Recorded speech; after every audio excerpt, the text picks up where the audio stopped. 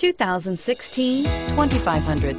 Dodge Ram 2500 is the 2010 Truck of the Year winner. It is the hardest working truck in tow business.